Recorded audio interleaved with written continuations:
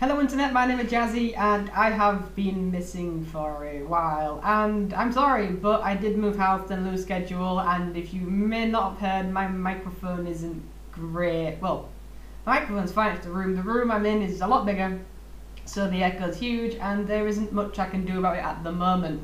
So I've just kind of stopped recording, which is stupid.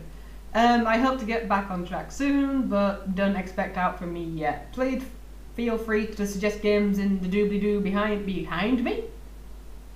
I hope it's not behind me, below me, and we I, I will hopefully be back on soon. Goodbye.